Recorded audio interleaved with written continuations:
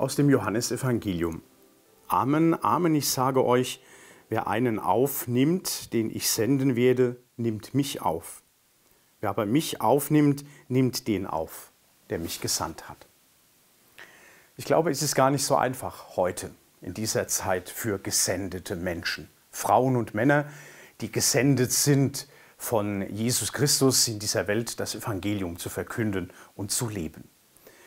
Gerade die Ereignisse der vergangenen Wochen und das, was uns immer wieder eben auch in schrecklichen Nachrichten sozusagen rüberkommt und die Informationen, die wir davon bekommen, das ist auch für gesendete Menschen eine schwierige Zeit und das ist sehr schwierig geworden.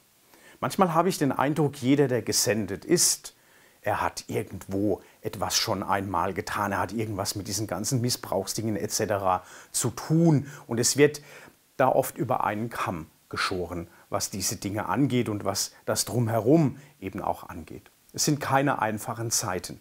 Vielleicht darf ich Sie heute einmal in diesem Tagessegen bitten, für die Menschen zu beten, die gesendet sind, als Gemeindereferentin, als Priester, als Pastoralreferenten, als Diakone, als Menschen, die unterwegs sind in dieser Welt, das Evangelium zu verkünden. In diesen nicht einfachen Zeiten und in diesem noch einmal nicht einfachen Tun heute das diese Menschen eben umsetzen müssen.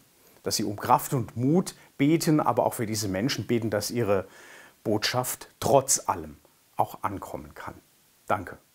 Segne sie im Namen des Vaters, des Sohnes und des Heiligen Geistes. Amen.